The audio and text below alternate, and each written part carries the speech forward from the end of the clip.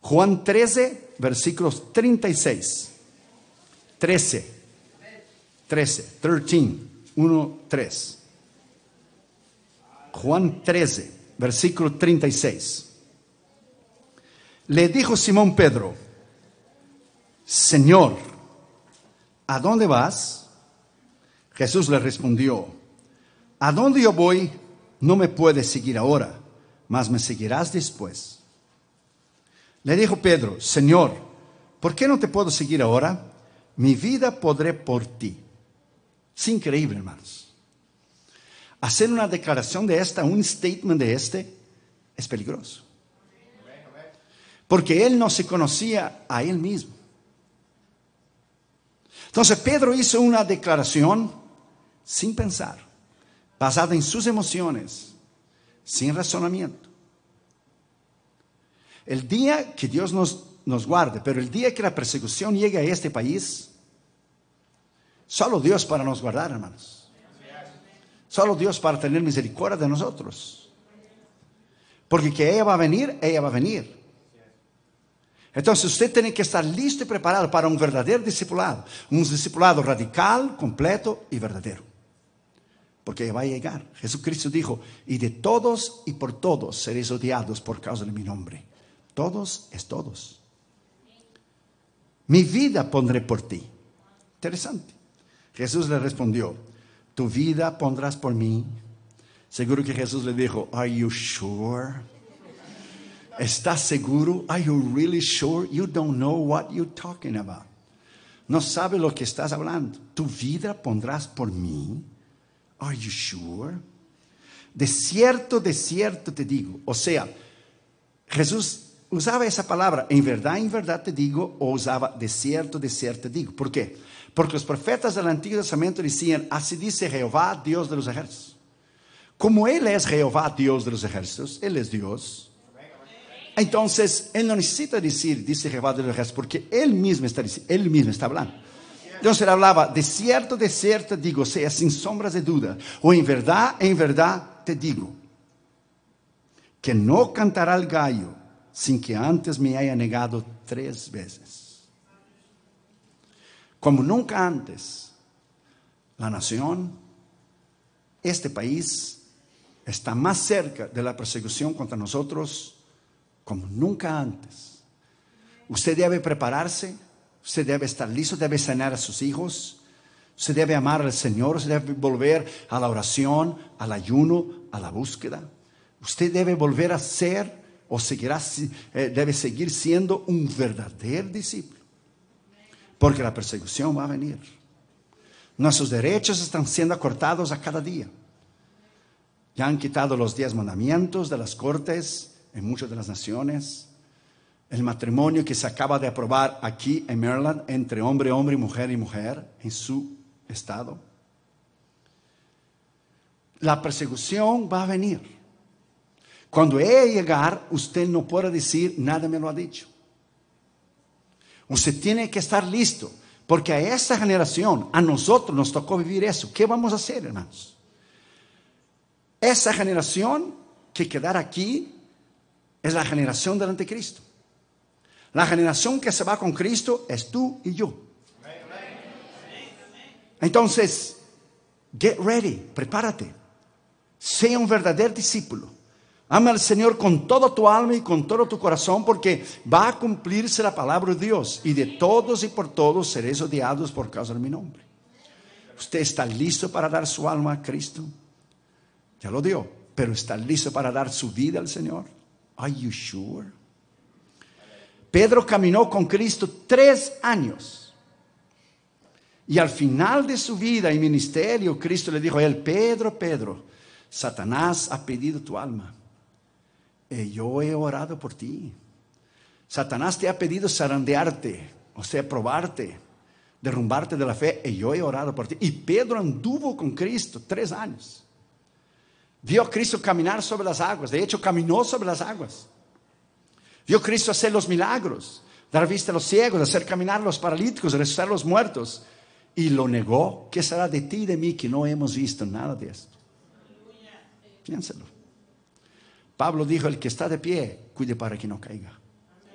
Nosotros creemos por fe. Hemos madurado por fe. Los apóstoles y los discípulos caminaron con Cristo y lo vieron. Y en el momento más de prueba de Cristo en el huerto del Getsemaní, lo dejaron solo, porque huyeron todos. Se quedó solo. Vamos a orar. Padre, en el nombre del Señor Jesucristo, te pedimos que tú nos hables con poder y con autoridad en esta noche. Te pedimos que sea una campaña tremenda, Señor, todos esos días. Gracias, Señor, por haber bendecido al pastor Juan Iteriano, la pastora Noemí, sus hijos, sus nietos. Gracias por el terreno que se ha pagado porque tú eres fiel. Gracias, Señor, por nuestra amistad por 20 años. Gracias porque tú has bendecido la iglesia Camino de Vida Eterna de una manera extraordinaria. Padre, háblanos durante esta semana.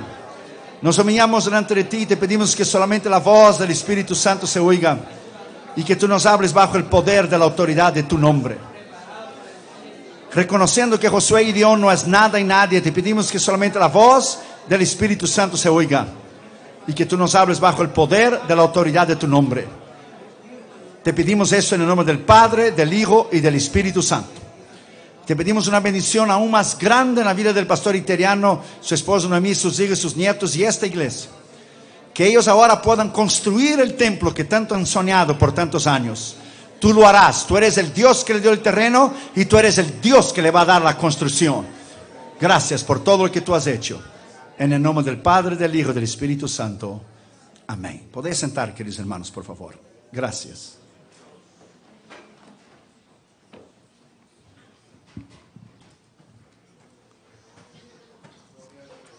Hay una diferencia entre creyente y discípulo. En un concepto básico, todo discípulo es un creyente, pero ni todo creyente es un discípulo. Cristo dijo en Juan 14, 26, el que no toma su cruz, el que se niega a sí mismo, no puede ser mi discípulo. Está hablando de renuncia personal. Jesús dijo en Juan 8, 31, eh, si permaneceréis en mi palabra, seréis verdaderamente mis discípulos. Juan 13, 35, un versículo antes de lo que nosotros leímos, Jesús dijo, si os amáis uno a otro, seréis mis verdaderos discípulos.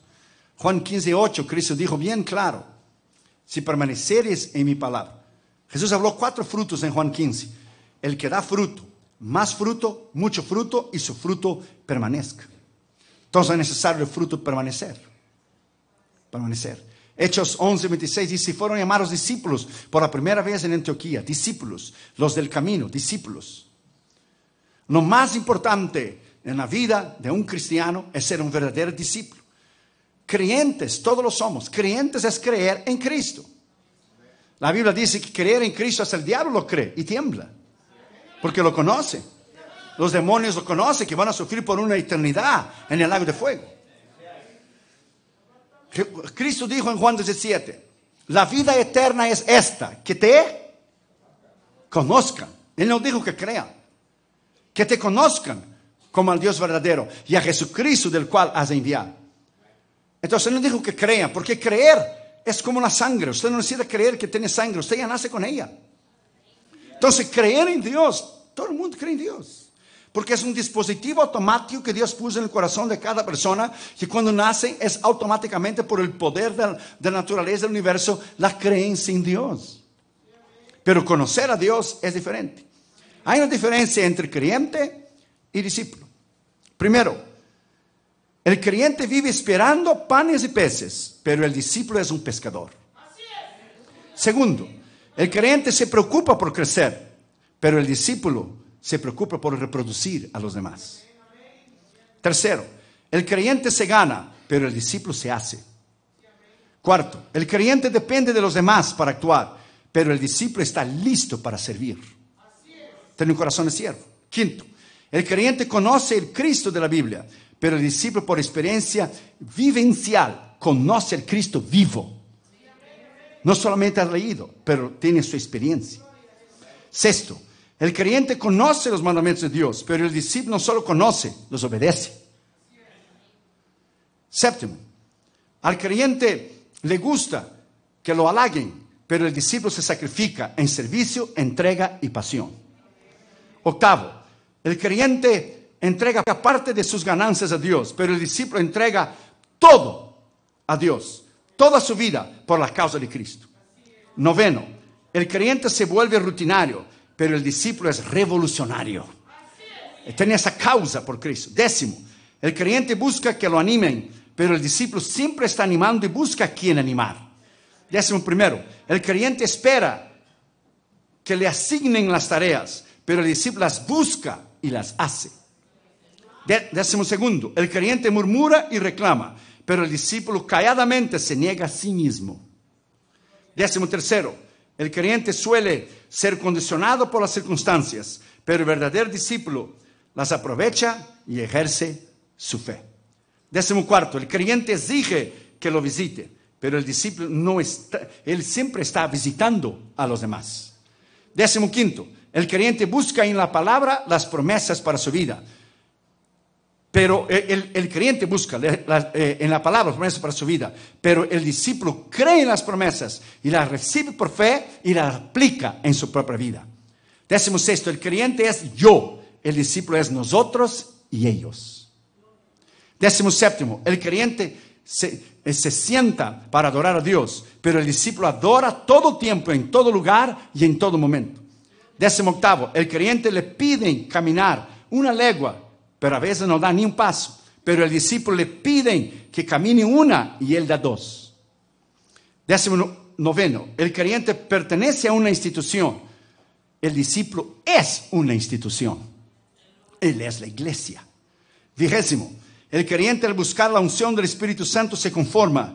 El discípulo tiene la unción y busca ser lleno del Espíritu a cada día. Vigésimo primero, el creyente su meta es argumentar y hacer que aumente la congregación. El discípulo aumenta las congregaciones a través de ganar almas para Cristo. Vigésimo segundo, los creyentes del siglo XXI están siendo trastornados por el mundo, por la influencia del mundo, pero los discípulos del primer siglo trastornaron el mundo, pusieron el mundo de cabeza para abajo. Vigésimo tercero, el creyente espera el milagro, pero el discípulo dispone en su corazón que a través de ellos, a través de él, Dios hace el milagro y él mismo es un milagro. Vigésimo cuarto, los creyentes se destacan al llenar el templo, los discípulos conquistan el mundo para Cristo. Vigésimo quinto, los creyentes parecen ser soldados que están cercados. Los discípulos son soldados invasores y valerosos contra el diablo de día y de noche. Vigésimo sexto, el creyente cuida de las puertas del templo, pero el discípulo anda buscando dónde se levanten más templos. Vigésimo séptimo, el creyente sueña con una iglesia ideal. El discípulo se esfuerza y se entrega para lograr una iglesia real. Vigésimo octavo, la meta del creyente es ganar el cielo, pero la meta del discípulo es ganar muchas almas para el cielo. Vigésimo noveno, el creyente necesita las campañas para animarse a trabajar. El discípulo está trabajando todo el tiempo y no necesita de campañas. Trigésimo, el creyente espera un avivamiento en la iglesia. El discípulo vive en un avivamiento constante todos los días. Trigésimo primero, el creyente busca la presencia de Dios. El discípulo vive en la presencia de Dios. Recuerda que Elías dijo, bendito sea el Señor en cuya presencia vivo y estoy. No se entra en la presencia de Dios, se vive en la presencia de Dios. Trigésimo segundo, el creyente agoniza sin morir, pero el discípulo muere al mundo y resucita para dar vida con Cristo. Trigésimo tercero, el creyente cuando está lejos de su congregación se siente incómodo, pero el discípulo está cómodo en cualquier lugar. Trigésimo cuarto, el creyente busca una almohada, el discípulo busca y carga la cruz de Cristo. Trigésimo quinto, el creyente se enreda en la cizaña, pero el discípulo se separa de los demás por su carácter de ser trigo. Trigésimo sexto, el creyente dice, ojalá pudiéramos hacer, o a lo mejor voy, pero el verdadero discípulo dice, lo podemos hacer y aquí, Señor, envíame a mí. Décimo, eh, trigésimo séptimo, el creyente es necesario, el discípulo es indispensable. Trigésimo octavo, el creyente quizá predica el evangelio, el discípulo vive el evangelio. Trigésimo noveno, el creyente lee la Biblia, el discípulo es una Biblia abierta y referencia a los demás. Cuadragésimo, el creyente habla del amor de Dios. El discípulo ama a Dios con el amor de Dios a los demás. Cuadragésimo primero, el creyente dice lo que Jesús hizo. El discípulo hace lo que Jesús manda. Cuadragésimo segundo, el creyente espera que la palabra llegue a su vida, pero el discípulo mete su vida en la palabra, vive en la palabra. Cuadragésimo tercero, el creyente recita y declama las enseñanzas de Jesús. El discípulo vive las enseñanzas de Jesús. Cuadragésimo cuarto, el creyente sabe y puede enseñar cómo vivió Jesús, pero el discípulo aprende a vivir como Jesús enseñó. Y cuadragésimo quinto, el creyente es un vagón o un carro, un vagón de tren que necesita ser impulsado y empurrado. El discípulo es una locomotora que impulsa y empurra las multitudes para Cristo. ¿Qué usted es? ¿Un creyente o un discípulo? Creyentes, todos somos. Pero verdadero discípulo. Por eso las multitudes seguían a Cristo en Juan 14 y él paró y, se, y dice, volviéndose, Jesús iba caminando, la gente iba atrás de él. Se puede leer en, Lucas 14, 25, 26, 27. Y él paró y volviéndose dijo, si usted va a venir a mí, nieguese a ti mismo, tome tu cruz y sígame. Y en Juan 6, 60, Jesús le dijo a ellos que deberían negarse a sí mismo, de comer su carne y beber su sangre, que hablaban de la Santa Cena, que deberían pagar el precio. Y dice que muchos discípulos que tenían los dejó y Pedro vino a Cristo y dijo, Señor, las palabras que has hablado son muy duras. Y Jesús lo miró a Pedro y dijo, ¿tú quieres ir con ellos también? Puedes ir, no hay problema. Yo pongo otro en tu lugar. Pedro lo miró y le dijo, pero ¿para dónde yo voy si tú tienes las palabras de vida eterna? Creyentes, la nación está llena. Cristianos, la nación está llena. Cristianos es creer en Cristo. Creyentes es creer en Cristo. Pero el verdadero discipulado un verdadero discípulo que conoce y vive los principios de la palabra de Dios es muy distinto. Por eso ni todos los cristianos van a subir en el arrebatamiento. Porque él dijo bien claro, ni todo el que dice Señor, Señor, entrará en el reino de Dios, pero el que hace la voluntad de mi Padre entrará en el reino de Dios. La persecución va a venir en esa nación. Yo quiero que usted esté listo y usted preparado, porque ella va a venir. Los tiempos gloriosos de libertad cristiana en esa nación se están terminando. Yo quiero que usted entienda y usted ponga esa palabra en su espíritu. Dámonos y yo llevamos a Cátedra Joshua en la conferencia de Billy Graham en Amsterdam en el 2000 y entonces fuimos a Roma y entonces llevamos a los muchachos a mirar las catacumbas de Roma, donde millones de cristianos murieron allí, donde estaban escondidos bajo la tierra. Después eh, eh, eh, lo llevamos al Coliseo, donde, donde César echaba a los cristianos a los leones para, para comer y, y pasamos el día entero visitando los lugares históricos cristianos y fuimos a la cárcel donde el apóstol Pablo dio su vida por Cristo. Y los muchachos quedaron, eran mucho más chicos ellos, quedaron profundamente impresionados. Entonces, adentro de la cárcel del apóstol Pablo nos dimos las manos, donde él murió, donde fue decapitado por Cristo allá en Italia. Y nos arrodillamos y oramos, dijimos, Señor, ayúdenos a terminar nuestro llamado y a terminar nuestro ministerio. Y Catherine y Junior estaban impactados, impactadísimos por todo lo que habían oído. De la muerte y las torturas que habían hecho los romanos a los cristianos. Prepárase porque esto va a venir. En primer lugar, Pedro dijo a Jesús, ¿a dónde vas? Pedro caminó con Cristo tres años y no sabía. ¿Cuántos años usted ya camina con Cristo? ¿Cuáles son tus proyectos, tus metas, tu ministerio, tu llamado? ¿Qué es lo más importante para usted? ¿Cuáles son tus dones? ¿Dónde Dios te está usando? ¿Dónde Dios te va a usar? ¿Cuál es la diferencia que usted está haciendo para Cristo? No solamente siendo un cristiano, no solamente siendo un creyente, pero ¿cuál es la diferencia como discípulo que usted está haciendo? El doctor Martin Luther King dijo una vez, no conozco muy bien el camino por donde voy, pero conozco muy bien el que conoce el camino. Y eso me basta.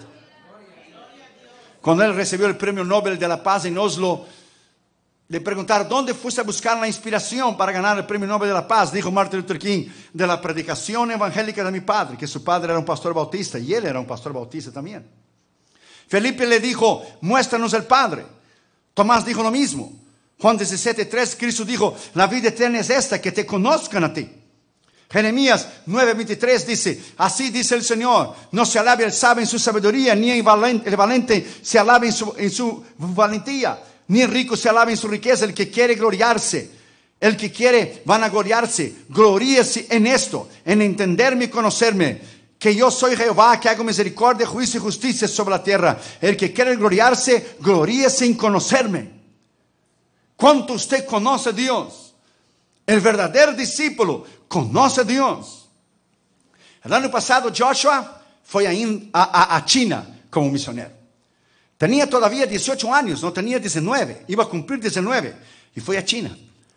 Yo le dije a Joshua, a Junior, ¿tú no, tú, no tenías ningún otro país para ir en tu primer viaje misionero, solo tenía que ser China? Porque él de niño, y como Catherine y, y Damaris han ido a todos los continentes del mundo conmigo. Pero ahora él está haciendo sus propios viajes por él mismo. Entonces yo le dije, cuando yo tenía 20 años de edad, yo fui enviado de Brasil a España, pero yo fui a un país libre. Tú estás yendo a China, donde tortura a los cristianos, donde meten presos a los cristianos. ¿No pudiera haber escogido un otro país? Entonces, dámonos, yo teníamos el corazón en la mano, no porque iba a cruzar el océano desde seis horas arriba del mar, eso lo hacemos a cada rato, ese no es el problema. El problema es a dónde él iba. ¿Dónde él iba? Yo le dije, tú ya corriste el toro ya por los cuernos. El primer país que va, va a uno de los países más difíciles del mundo. Entonces, cuando lo dejamos en el aeropuerto, Damaris estaba muy nerviosa y, y ¿sabe cómo es una mamá? Empezó a llorar y, yo le abracé a Junior y, también me e, emocioné, le abracé y le dije, tú vas a China y tú vuelves. Yo necesito de ti, chico. Tú vas a China y tú regresas y tú sé hombre como tu padre es hombre y como tus dos abuelos fueron hombres, mi padre y el padre de tu madre. Ya sabes lo que tienes que decir cuando llegues en la aduana en China. Ya te enseñé. Ve y regrese. Y nosotros teníamos el corazón en la mano. Y Junior dijo, cool, dad. Somos como son los jóvenes de hoy. Cool, nothing gonna happen. Nada va a suceder. ¿Tú no hiciste lo mismo cuando tú eras joven? Sí. Pero yo no era padre. Yo no sentía lo que estoy sintiendo ahora. Y tú vas a sentir eso cuando tú te cases y tengas tus hijos también. Y decía Junior, cool, Dad. Everything will be fine. I go and come back. Oh, it's that easy. Entonces, claro, el verdadero discipulado es que cuando nació Catherine y Junior, nosotros presentamos al Señor. De hecho, presentamos al Señor tres veces, Catherine y Junior. Mi pastor presentó, el hermano de Damaris, que es pastor, presentó, y yo como ministro presenté a Catherine Junior. Los presentamos tres veces para estar bien presentados. Entonces cuando Dios te toma y cuando Dios toma a tus hijos y empiezan a viajar y empieza a ir a otros continentes, tu corazón se aprieta. Dios te dice, ¿en qué, ¿en qué quedamos? ¿Es mío o es tuyo? ¿Verdad? Es renuncia. Renuncia. Un cristiano, un creyente, un verdadero discípulo que renuncia todo por Cristo, es un verdadero hombre y mujer de Dios. Renuncia es dolor, es sufrimiento. Renuncia es morir para tu carne, para tu ego, para tu yo. El cristianismo en Estados Unidos de América se predica hoy en día un cristianismo sin discipulado, un cristianismo sin cruz.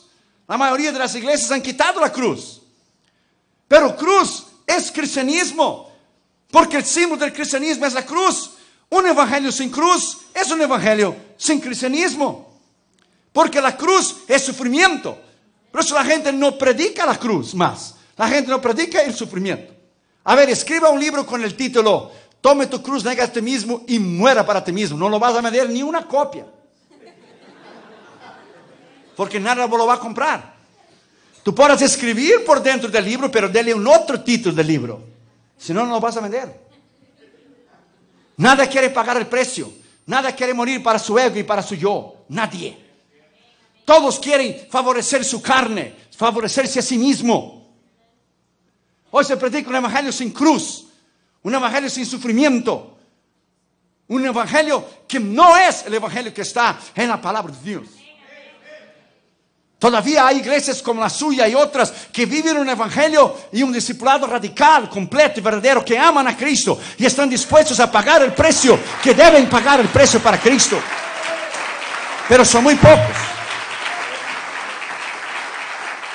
Segundo lugar, dijo Jesús, me seguirás después, dijo Jesús. Jesús hablaba del tipo de muerte que él iba a padecer. La tradición dice que Pedro después murió de cabeza para abajo en Roma. Que él quiso que lo crucificara de cabeza para abajo porque él no era digno de morir como su Señor. La tradición dice que cuando hubo eh, eh, la quemazón en Roma, él estaba huyendo de la ciudad y un ángel se le presentó a él y le dijo, por la segunda vez vas a negar al Señor. Otros dicen que la tradición fue el Señor Jesús que se le presentó a él y dijo, por la segunda vez me vas a negar. Y que regresó de vuelta para la ciudad y entonces lo crucificaron de cabeza para abajo. Pero verdaderamente usted está dispuesto a pagar el precio.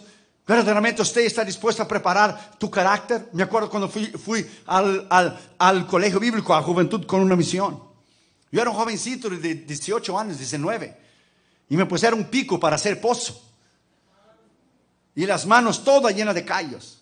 Fui a estudiar teología, imagínese usted. Oh, sí, como no. Dios dijo, ven, teología te la voy a enseñar. Hacía una comida tan mala, pero tan mala que encontraron un pedacito de carne en aquella sopa, era un avivamiento. Y la sopa era tan grasosa, pero tanta grasa tenía que si tú volcaba para, de cabeza para abajo el plato, la sopa no se, quedaba para, no se caía para abajo se quedaba pegada en el plato. y tú salías a evangelizar los domingos y pedía a un compañero tuyo, guárdame el plato de sopa del mediodía, yo llego como ocho y media o nueve de la noche. Y tú llegabas por la noche y a todo el mundo estaba durmiendo en el oscuro con una pequeña, linterna y estaba de acuerdo a dónde te iban a dejar el plato de sopa, debajo de la cama o adentro de arriba de una, eh, eh, de una mesa. Y allá estaba el plato de sopa esperando por ti frío, una grasa terrible. Y tú tenías que tomar aquello y comer así. Y el Señor te estaba diciendo, eso es todo lo que vas a comer. Para que el día que yo te bendiga y que tú comas un New York steak, un ribeye steak, para que el día que vayas en un restaurante y comes un 16 ounces ribeye o New York steak, tú te acuerdas de esa sopa. That's right.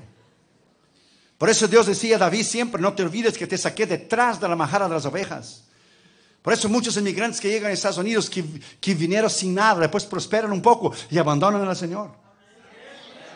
Es peligroso, es peligroso. Nosotros teníamos que decidir entre poner la sábana en la cama para dormir o la sábana en la ventana, que no tenía, no tenía ventana, tenía un hueco en la pared y un frío que entraba tremendo en el invierno. Y Dios venía a ti y decía, decídete, ¿quiere en la, en la ventana o quiere dormir ah, con la sábana? La decisión es tuya. Y el baño era estilo militar, con balde. En el frío, en el invierno, con balde. No agua caliente, no. Hoy todo está cambiado. Hoy todo es diferente. Pero cuando vas a una escuela misionera para la preparación del carácter, para, para, la muerte del ego, del yo, la gente ve y dice, oh, cómo Dios ha bendecido al pastor Juan Italiano y la pastora Noemí. Pero ¿cuántos años ellos están batallando, sufriendo, orando, ayunando?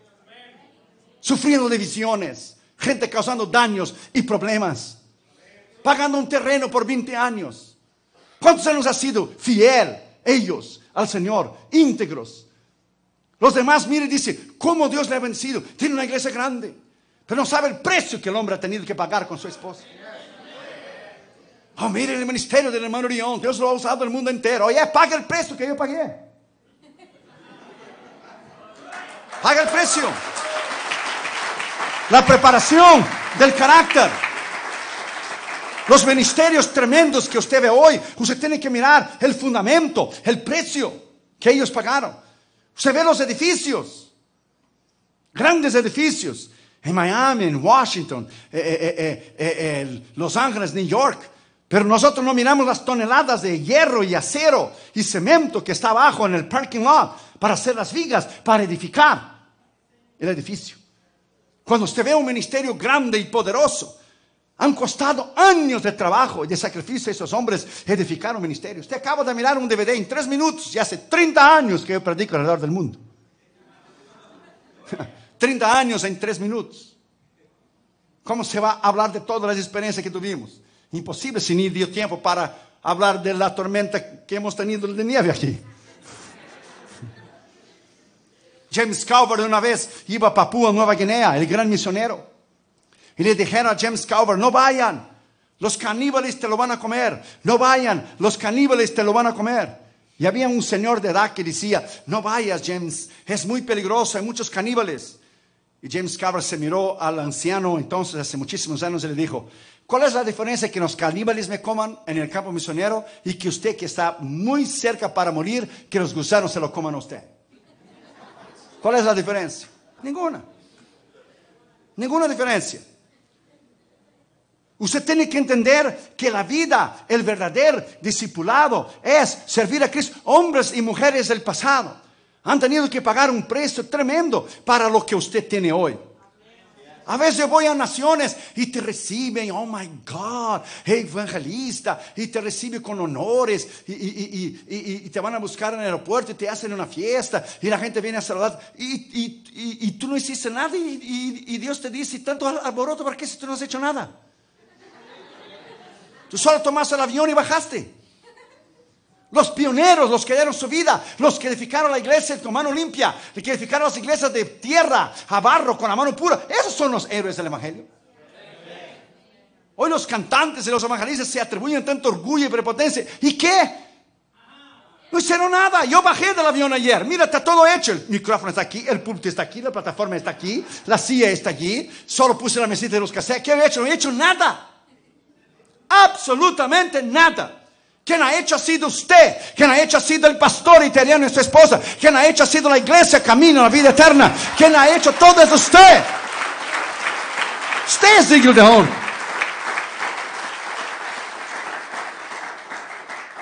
Hebreos 11:32 dice, ¿qué más digo? Me faltará el tiempo de hablar de Gideón, Barak, Sansón, Jefté, David, Samuel, los profetas que por fe conquistaron reinos, hicieron justicia, alcanzaron promesas, taparon boca de leones, apagaron fuegos impetuosos, evitaron filo de espada, sacaron fuerzas de, de, de, de donde no la tenían. Las mujeres recibieron sus muertos por resurrección.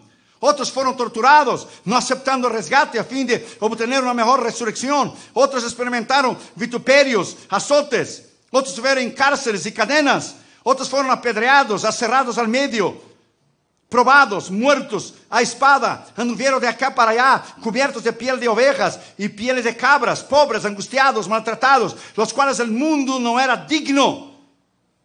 Errantes por los desiertos, por los montes, por las cuevas, por las cavernas de la tierra. Esto es un discipulado. Esto es un discipulado. Vivir para Cristo, sufrir para Cristo, pagar un precio tremendo para Cristo. A veces usted va en las campañas y hay la reunión de pastores y ministros. Entonces, eh, y, entonces usted ora por los ministros y los pastores y, termina el culto y siempre hay algo, alguien con misticismo dentro de la iglesia. Hermano, danos su panuelo. ¿Por qué, hermano? Porque estás en una, unción. No, ahí no está la unción. En la casa lo voy a lavar. La unción está en mí. No está en el panuelo. Oh, ore por nosotros para pasar la unción. Yo no voy a pasar la unción. Eh, no es gratis. Usted tiene que tener la suya, yo tengo la mía. Usted busque su unción. Usted busque su unción. Usted paga el precio. Usted muera para sí mismo, para su ego, para su yo, para su carne. Eso de los evangelistas, voy a pasar mi unción. Solo hay una escritura donde Moisés se sentía un día un poco triste y con depresión y he was down. Y el Señor dijo, hay poder en ti para poner en 70 hombres. Y Dios sacó un poquito el espíritu de Moisés y le llenó a 70 ancianos de Israel que empezaron a profetizar. Esa fue una única, única vez. No hay transferencia de poder. Eso no existe en la palabra de Dios. Cada uno que busque eso, qué fácil. Dame lo que tú tienes. That's very easy. 30 años de trabajo, de una vida recta, íntegra, vencer las tentaciones, vencer las pruebas, vivir una vida extraordinaria con tu esposa, tus hijos. Oh, just give me. Pase, pase noches en ayuno y oración, días trancados de ayuno y oración y no salga de ahí como andábamos y yo terminamos el otro día. Seis días de ayuno y oración sin comer y sin beber. Pay the price. Qué fácil la gente decir, oh, just give me. Dámelo. No. En Corea del Norte, cuando llegó el comunismo, eh, ponía a los cristianos a hacer cuevas en el piso. Y cuando hacían sus propias tumbas, se acostaban los cristianos, se acostaban los papás y los hijos. Y la mamá tomaba la mano de sus hijos y el papá y decía, cierre sus ojos. Nos van a echar tierra por arriba. Nos va a faltar el aire por unos cuatro o cinco minutos. Pero en menos de cinco minutos, hijitos, iremos a los brazos de Jesús. El Jesús de la escuela dominical. My friend, eso es discipulado. Eso es discipulado. Eso es discipulado. Como una chica en Corea del Norte también hace muchos años. Invadieron los comunistas coreanos a una iglesia y tomaron a la gente. Y dijeron, los que niegan a Cristo y no quieren morir, póngase a la derecha. Los que, los que quieren morir por Él, póngase al lado de la izquierda. Solo la muchachita se puso al lado de la izquierda. Todos se pusieron por la derecha. Y el muchacho puso lista la ametralladora. Entonces ustedes niegan a su Señor tanto grito y tanto alboroto y tanta habladuría de lengua. Solo una niña, tenía ella como unos 12 años. Y le pusieron un cuadro adelante con la foto de Cristo. Y le hicieron a la gente caminar. Cada uno le venía y le escupía el cuadro donde estaba la foto de Cristo. Y se ponía a la derecha. Y la niña fue la última. Y le llegó y le tomó el cuadro y limpió el cuadro. Y lo abrazó el cuadro. Dijo, Señor, estoy listo para ir contigo. Como mis padres fueron y mis abuelos fueron contigo. Estoy listo para ir contigo. Y el hombre puso la niña en contra de la pared. Y cuando dejó lista la ametralladora, se volteó de vuelta a los que habían dicho, ustedes todos negaron a Cristo, ¿verdad que sí? Así es. Pues si ustedes hubieran tenido la oportunidad de negar el socialismo y el comunismo, también lo hubieran hecho porque ustedes no tienen carácter. Y al invés de matar a la niña, a cada uno de ustedes lo voy a exterminar. Y le mató a todo el mundo. Y le mandó todo el mundo al infierno. De adentro de la iglesia descendieron al infierno. Solo la niña quedó libre por no haber negado a Cristo. Discipulado. ¿Qué vendrá a esta nación? Que los próximos cuatro años nos esperan, hermanos. ¿Qué nos espera una nación con inmoralidad, con aborto, con matrimonios de homosexuales y lesbianas? ¿Qué nos espera los próximos cuatro años? Solo Dios puede ver que Él ve el mundo espiritual. Él ya vio hasta el último capítulo del Apocalipsis. Él ya ve nosotros con Él en la eternidad. ¿Qué será que viene para nosotros los próximos cuatro años que acaba de terminar las elecciones? Agárrate de Cristo, my friend agárrate de Cristo porque las cosas van a empeorar. Si es para venir una persecución y sacudir a la iglesia, porque las verdaderas iglesias han crecido en el medio de la persecución. Cuando todas las cosas estaban bien en el libro de los Hechos, tuvo que venir la persecución en Hechos 8 y todo el mundo salir corriendo para predicar la palabra de Dios a partir de Hechos capítulo 6. Tercer lugar, Pedro le dijo a Cristo, mi alma pondré por ti. Mi vida pondré por ti. Él no sabía lo que él estaba haciendo. Esa declaración fue hecha, fue movida por una emoción, una precipitación, un sentimiento de amistad, por tristeza de abandono de Cristo, que estaba a las, pues, a las puertas de morir. ¿Será que tú y yo estamos listos para lo que ha de venir a esta nación? Piénselo. La gente cree que las cosas van a mejorar. Oh, yes. Vea la palabra de Dios y usted verá que los últimos días serán días terribles para la iglesia. La iglesia empezó en persecución y la iglesia va a terminar en persecución. David E. Brenner dijo, me regocijo en mi, abnegación personal. El gran misionero de los indios de Piedra Roja en el este del río Delaware aquí en Estados Unidos. Él dijo, me, regocijo en mi abnegación personal, si tengo lo que comer o no, vestir o no, con tanto que tú me des los indios para ti. John Knox, el gran reformador escocés, decía, Dios, dame las armas de Escocia o yo me muero. Zinzendorf, el gran misionero alemán, decía, a ti te entrego mi esposa, a ti te entrego mis hijos, a ti te entrego mi vida, dame las armas de Alemania. Hudson Taylor decía, el sol nunca se ha levantado detrás de la montaña antes que yo estar de rodilla los 40 años por China. William Carey decía, si yo tuviera mil vidas, todas ellas las daría para India. Hombres y mujeres de Dios que cambiaron el mundo para Cristo. Si usted no tiene el libro, heme aquí, Señor, envíame a mí todavía, lleve ese libro. Va a transformar tu vida. Un hermano el otro día fue a una iglesia, no aquí, en otra iglesia, dijo, hermano, tengo algo contra uno de sus libros, hermano Orión. Dijo, ¿de veras? ¿De cuál? Él aquí. Sí, ¿por qué? Porque me ha hecho llorar demasiado. Yo le dije, qué bueno. Y me dijo, cambié el nombre de su libro. Dije, ¿de veras? ¿Sí? ¿Cómo se llama ahora? Se llama El Cebollero. Cebollero, la cebolla le hace usted llorar, ¿eh? Vaya a leer sobre los mártires de la iglesia. Vaya a leer sobre los verdaderos cristianos que dieron su vida por el Señor Jesucristo. Hombres y mujeres de Dios, my friend. Que vieron morir familiares delante de ellos, donde sus hijos fueron decapitados delante de ellos, y mismo así no negaron a Cristo. Que será de un cristianismo fácil, mediocre que tenemos en esta nación. ¿Qué será cuando llegue, mi friend, a nosotros la persecución y nos toquen la puerta para preguntar si somos cristianos o no? ¿Qué será de nosotros, my friend, cuando verdaderamente acortar nuestros derechos en esa nación y nos poner contra la pared y nos preguntar si verdaderamente nos negamos o no? Nosotros pensamos que eso nunca va a llegar. Oh, yes, sure. Você dirá que a Constituição nos garantiza. A Constituição para Deus não tem nenhum valor, é um pedaço de papel que para Deus não vale nada. A Constituição é como qualquer Constituição de qualquer nação. A los ojos de Deus não tem importância nenhuma. Ele é Deus sobre todo e sobre todos. É sua palavra que le importa. Essa é a Constituição sobre constituições. É sua palavra que le importa. A Deus não le interessa lo que digam os jueces de la Corte Suprema. A Dios le interesa es lo que diga su palabra. Y cuarto lugar y último lugar, dijo Cristo, de cierto, de cierto te digo, en verdad, en verdad te digo, sin sombras de duda te digo, no cantará el gallo antes que me hayas negado tres veces. ¿Será que usted le niega a Él en sus actitudes, en sus palabras, en sus acciones, en sus dones, talentos, tiempo? ¿Será que usted le niega que usted debería servirle, usted debería ser de luz, ¿Será que usted le niega y no orar, no ayunar, no evangelizar, no dar sus diezmos, no dar sus ofrendas?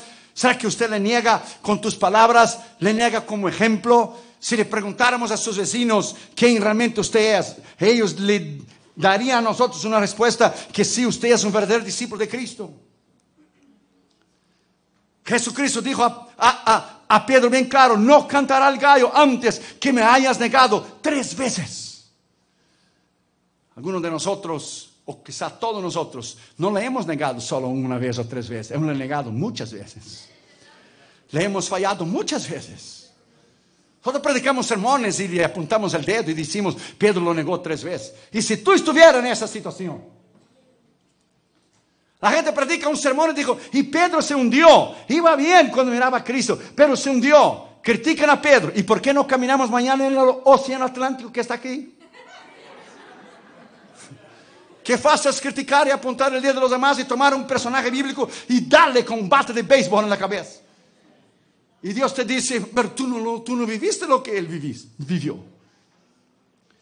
No, cantará el gallo, me hayas negado. La advertencia es para mí, la advertencia es para usted, la advertencia es para todos nosotros. ¿Será que estamos listos para cuando llegar la persecución? ¿Será que estamos listos para que cuando llegar, my friend, nosotros tener que decidir con Cristo? Y los apóstoles fue Policarpo, el obispo de la iglesia de Esmirna. Lo tomaron a él y lo pusieron en una arena romana. Y le dijeron, niegues a Cristo o soltaré los leones, dijo eh, el emperador romano. Y Policarpo dijo, hace 86 años que lo conozco, ¿por qué debo yo negarle ahora, al final de mi vida? Solte los leones y soltar a los leones. Y hacía una semana o dos que los leones no habían comido. Imagínense qué hambre tenían. Y daban los leones vuelta alrededor de Policarpo, pero no le podían tocar. Tal era la unción de este hombre. Y el emperador romano decía, ¿qué tienes? ¿Estás embrujado? ¿Tienes magia o qué? Ni los leones se acercan a ti. O niega a Cristo, te quemaré vivo. Y dijo, negar a Cristo, yo. Le he servido toda mi vida y con 86 años ahora deberé negarle a Él. Prende la hoguera y prender la hoguera y lo pusiera a Policarpo y la hoguera no quemaba Policarpo. El fuego no lo quemaba. Vaya a leer su biografía. Entonces el emperador dijo, ¿qué tiene este hombre? Corten la cabeza, mátenlo. Y cuando le vinieron los soldados le cortaron la cabeza. Su sangre le apagó la hoguera. Un verdadero discipulado completo, radical y verdadero. Un discipulado de renuncia, de la paga del, del precio. Un discipulado, my friend, que muy pocos en este país lo pagan. Y ese mensaje vino tan apropiada. Dios guió al pastor italiano para hacer el primer mensaje sobre el discipulado. Y las elecciones acaban de pasar dos días atrás. ¿Será que no nos viene a nosotros algo que nunca hemos experimentado en ese país? Porque llegar al punto de una persona quitar el National Day of Prayer, el Día Nacional de Oración en la Casa Blanca y dar la bienvenida a los musulmanes, pero quitar a los cristianos, ¿quién nos podrá venir a esta nación? La nación tuvo una oportunidad de oro de dar la vuelta y no la hizo. La nación está en un caos. Esa nación está en un caos. Cuando hemos votado por alguien sin principios morales, a favor del aborto, a favor de la homosexualidad, a favor, my friend, de lo que es, eh, eh, eh, de todo lo que es los principios de la palabra de Dios, a favor de la inmoralidad, a favor de matar al niño inocente y contra Israel, entonces toda la nación será maldecida por un hombre. Porque la Biblia dice, bien claro, maldiciré los que te maldijeren y bendeciré los que te bendijeren. Entonces nosotros vamos a ser maldecidos por una persona sola que tuvimos la oportunidad de dar la vuelta y no lo hicieron. Se van, a traer a sí mismo el castigo y el juicio de Dios que viene sobre esta nación. Muy fácil decir soy cristiano. Muy fácil decir yo creo en Cristo e ir en contra de los principios de la palabra de Dios. Eso es mentira. Nadie puede ser un cristiano de verdad e ir en contra de los principios de la palabra de Dios es mentira. Prepárate para lo que ha de venir, my friend. Agárrate de Cristo. Vuelva a la oración, vuelva al ayuno, vuelva a la paga del precio, vuelva al Señor Jesucristo, aleluya, con toda tu alma y con todo tu corazón, porque días muy difíciles nos esperan. Agárrate del Señor que nunca te ha dejado y nunca te va a dejar. Agárrate del Señor porque solo Él nos puede dar la victoria. Agárrate del Señor en un discipulado radical, completo y verdadero. Agárrate de Él con toda tu alma. Siente a tus hijos en el piso, como hicimos con Catherine y Junior de chiquitos, y enséñale a ellos los valores y los principios de la palabra de Dios, valores morales, valores espirituales. Enséñales a ellos, va a la palabra, porque ellos van a crecer. Estamos en el fin. Maranata, ven Señor Jesús. Maranata, ven Señor Jesús. Maranata, ven llevar a tu iglesia, Señor Jesús. Maranata, ven a llevar su iglesia, Señor Jesús. Maranata, ven llevar tu iglesia, Señor Jesús. Maranata, venga a llevar tu iglesia, Señor. Aleluya. Denle un aplauso al Señor Jesucristo de de veras. Denle un aplauso al Señor Jesucristo de de veras. Denle un aplauso al Señor Jesucristo de, de veras. Rey de reyes y Señor de señores. No importa cómo la nación esté, no importa lo que está en la política, nuestros ojos no están en la Casa Blanca, nuestros ojos están en Cristo Jesús, nuestro Señor y Salvador. Nuestros ojos no están en el gobierno, nuestros ojos están en Cristo. Oh, si Él ha hecho algo en tu vida, alábalo en esta noche. Si Él ha hecho algo en tu vida, alábalo en esta noche. Si Él ha hecho algo en tu vida, alábalo en esta noche. Gracias. Se le ha hecho algo en tu vida, alábale. Aleluya. Mateo 17 dice que en el monte de la transfiguración estaban Jesús y Pedro y apareció Moisés y Elías y después a nadie más vieron, sino solamente a Cristo. Nuestros ojos están en Cristo. Nuestros ojos no están en la economía del país, en la política del país, ni en la presidencia. Nuestros ojos están en Cristo. No interesa quién es el presidente. Jesús es rey. Jesucristo es rey. Jesucristo reina sobre todos. Jesucristo reina sobre la nación. Jesucristo reina sobre el mundo, el universo. Alábale. Denle un aplauso al Señor Jesucristo. Rey de reyes y Señor de señores. Si Él ha hecho algo en tu vida, alábale. Si Él ha hecho algo en tu vida, alábale. Si Dios está muerto, guarda un minuto de silencio. Pero si Él está vivo, alábale. Denle el aplauso al Señor Jesucristo. Aleluya, alábale. Alábale, alábale, alábale. Alábale, alábale. Si Dios ha hecho algo en tu vida, alábale, alábale. Ponte en tus pies y alábalo. Ponte en tus pies y alábalo. Dele a Él el aplauso de veras. Rey de reyes y Señor de señores. Nuestros ojos están en Cristo y en Cristo solamente. Nuestros ojos están en Cristo y en Cristo solamente. Venga lo que venga. Venga lo que venga. Todas las épocas de la historia de la iglesia, en sus dos mil años de historia, han tenido épocas difíciles, de persecución, de dolor. Si a nosotros nos va a tocar, nos va a tocar. Que Dios nos prepare. Que Dios nos, nos, nos prepare. Que Dios nos dé autoridad y nos dé vida. Inclina tu cabeza y cierra tus ojos, por favor. El Señor está aquí esta noche. Yo sé que ese mensaje fue dirigido a la iglesia. Pero es posible que usted esté aquí y no tenga a Cristo como su Señor y Salvador todavía.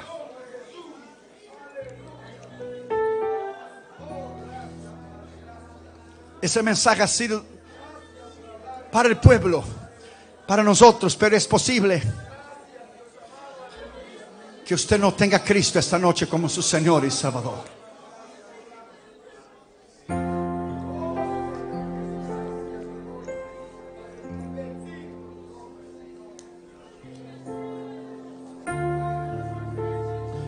El Señor quiere perdonar tus pecados y escribir tu nombre en el libro de la vida. Si usted está aquí esta noche y no eres salvo, si usted está aquí esta noche y no tiene a Cristo como tu Señor y Salvador, otra vez lo conociste y te apartaste, estás descarriado y te gustaría esta noche regresar a Cristo. Ahí afuera usted no va a encontrar nada. Ni en la droga, ni en el sexo, ni en el dinero, ni en el alcohol. Lo que el diablo va a hacer es destruir tu alma. Esto sí. Si a usted le gustaría entregar tu corazón a Jesús esta noche, para que Él te perdonara, para que Él te escribiera tu nombre en el libro eterno. Si esta noche usted está descarriado y te gustaría reconciliar con Cristo, pare y piense. Si Cristo viniera esta noche, ¿usted subiría con Él? Si Jesús viniera a buscar su iglesia hoy, o si usted muriera, que Dios no lo permita, ¿usted subiría con Cristo? Piénselo. Esta noche. Si a usted le gustaría entregar tu corazón a Jesús, y te gustaría que el Señor perdonara tus pecados y escribiera tu nombre en el libro de la vida. Y usted sabe que no es salvo. Usted es sincero, usted es honesto. Usted dirá, Irión, ¿qué debo hacer para ser salvo? Usted tiene que arrepentir de sus pecados, confesar su pecado, entregar tu corazón a Jesús. Que Dios hará por ti? Quitará tu vacío, tu angustia, tu soledad y tu culpa y escribirá tu nombre en el libro eterno. Si esta noche te gustaría venir a Cristo como tu Señor y Salvador, levante tu mano derecha ahí donde quiere que tú estés y yo voy a orar por ti. Habrá alguien esta noche. Levanta tu mano. Voy a orar por ti. Dios te bendiga. Gracias. Habrá alguien más, alguien descarriado, alguien que es la primera vez que le gustaría entregar su corazón a Cristo. Esta noche es tu noche. No lo rechaces. Porque quizá nunca más tendrás esta oportunidad. No lo rechaces. Los trabajadores me ayuden, por favor, porque usted conoce a la gente. Yo no, pero usted la conoce. Usted ve y habla desde Cristo. El altar está abierto. Habrá alguien en esta noche. Si usted levantó su mano, sal de su lugar y venga aquí adelante. Yo voy a orar por usted. Habrá alguien esta noche. Un padre, una madre, un caballero, una dama. Habrá alguien. Aquí viene un caballero. Dios te bendiga. Gracias por tu humildad. Gracias. Gracias. Habrá alguien más. Habrá alguien más que no tiene a Cristo como su Señor y Salvador. Esta es tu oportunidad. Esta es tu oportunidad. El Señor quiere salvar tu alma. Habrá alguien más. No resista la voz del Espíritu Santo. Porque es posible que sea la última vez que usted esté oyendo la voz de Dios. No resista la voz del Espíritu Santo. Porque es posible que sea la última vez que usted esté oyendo. Aunque el mensaje ha sido la iglesia. Pero yo siempre doy oportunidad para aquellos que no tienen a Cristo. ¿Habrá alguien más después de este joven? ¿Alguien más que le gustaría recibir a Jesús? ¿Alguien más que le gustaría recibir a Cristo? Un joven más viene, mira, Dios te bendiga, hijo. Gracias por tu humildad, gracias. Gracias por tu humildad. La Biblia dice, el que se humillar será exaltado. El que se exaltar será humillado. ¿Habrá alguien más? ¿Algún otro joven? ¿Algún otro otra persona de este lado? ¿Habrá alguien? Esa jovencita que está aquí, ¿usted recibió a Jesús, hija? Señor te ama. Eres muy joven para perderte, hija. Muy joven. ¿Te gustaría entregar tu corazón a Jesús? Jesús te ama. Él murió en la cruz por ti. Ven, entregue tu corazón a Cristo. Ven. Es la mejor decisión de tu vida. Es lo más grande. Allá afuera tú no vas a encontrar nada. Allá afuera solo van a encontrar decepción, tristeza, dolor. Allá afuera, amiga, no vas a encontrar nada. ¿Cuántos años tienes? 15. 18. Puede ser mi hija. Yo tengo una hija de 22, imagínate. Yo no quiero que tú te pierdas. No quiero. Venga, Cristo, ven. Ven. Jesús te ama, hijita. Eres muy joven. No lo rechace. Habrá alguien más. Esa jovencita que está ahí. Señor te quiere salvar, hija. Venga, Cristo, ven. No lo rechaces. Venga Señor Jesús. No lo rechace. Yo sé que hay más personas para venir. A veces hay personas que resisten la voz del Espíritu Santo. Y tal vez es la última vez que Dios te está dando esta oportunidad. Dios te bendiga, una jovencita más. Tal vez es la última vez que Dios te está dando esta oportunidad. Tal vez nunca más la vas a tener. Nunca más. Yo he ido a cruzadas que yo he dicho a algunas personas, reciban a Cristo. Tal vez sea la última vez y cuando llego a mi casa, después de algunos días, el pastor me llama y dice, León, aquella persona que tú le hablaste se murió en un accidente o murió enferma. Usted no sabe el día de mañana. Dios te bendiga. Usted no sabe lo que le va a suceder el día de mañana. Solo Dios sabe. No lo rechace esta noche. No lo rechace. Hoy es tu día. Hoy es tu oportunidad. Esta noche Dios la tenía en el cielo escrita para usted. ¿Habrá alguien más de este lado? ¿Algún joven, una jovencita? ¿Algún caballero?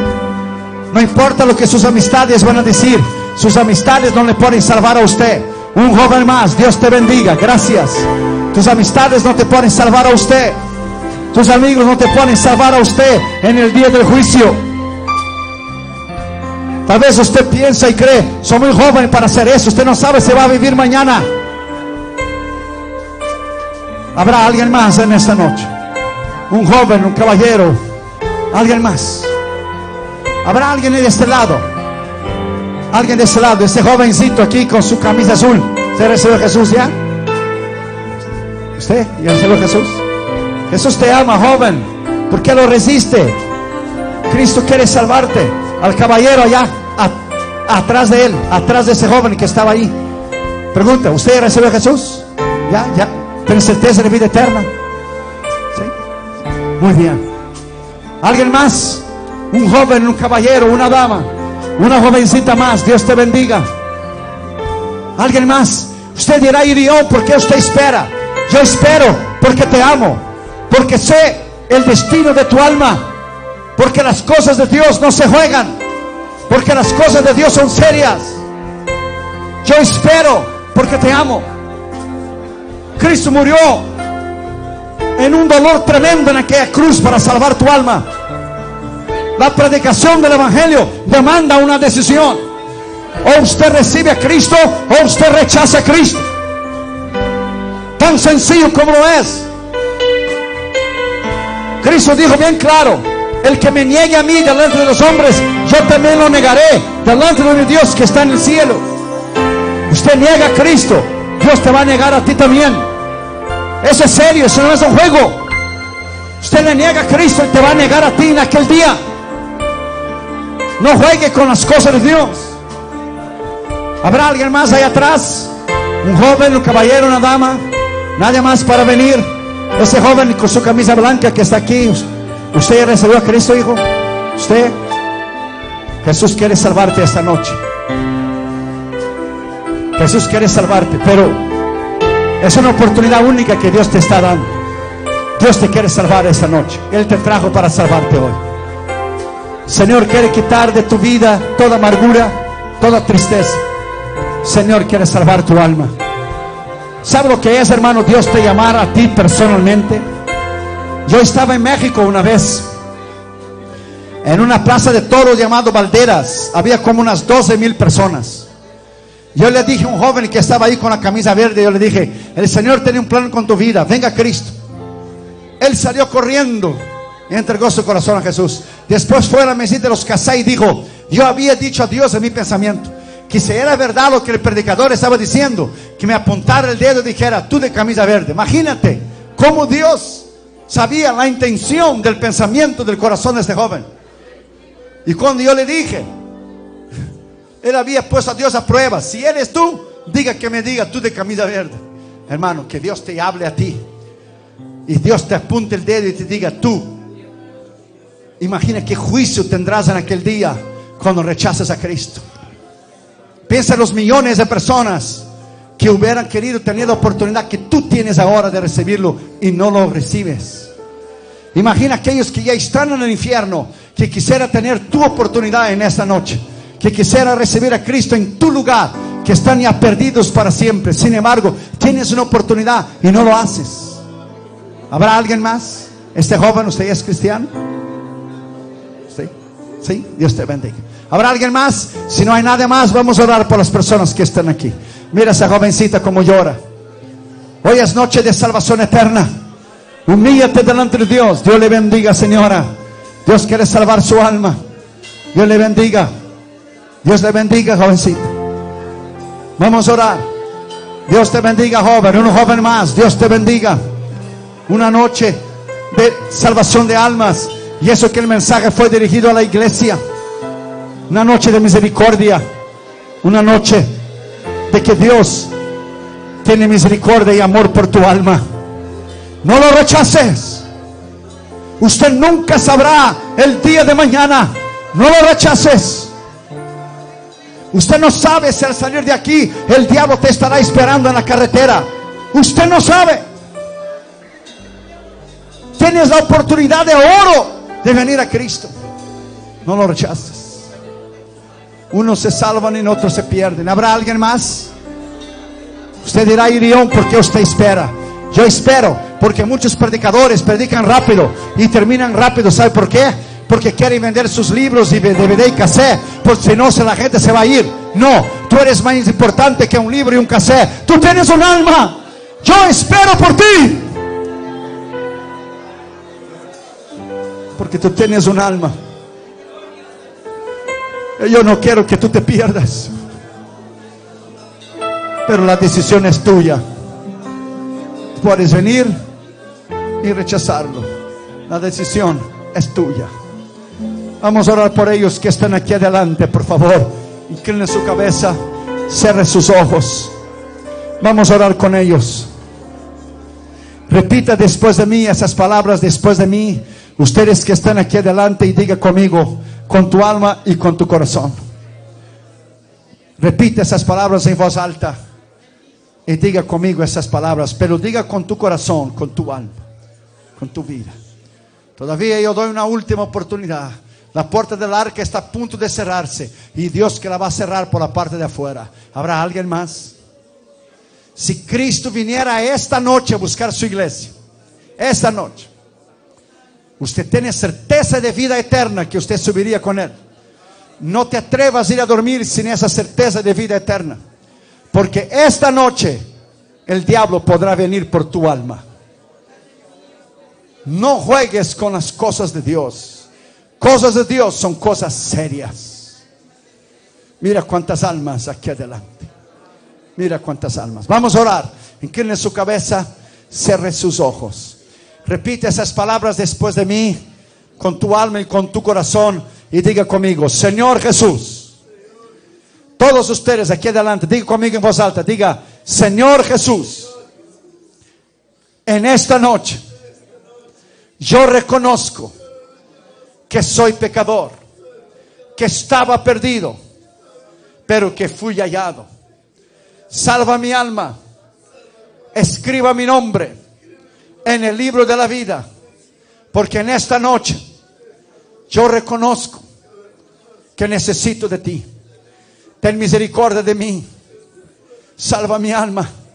Gracias por morir por mí, por librarme del infierno de la perdición eterna. En esta noche, sálvame, porque yo creo con mi corazón que Dios resucitó a Cristo de entre los muertos. Y con mi boca yo confieso que Jesucristo es el Señor. Y en esta noche soy salvo para la gloria de Dios Padre. Denle un aplauso a Cristo, iglesia. Aleluya.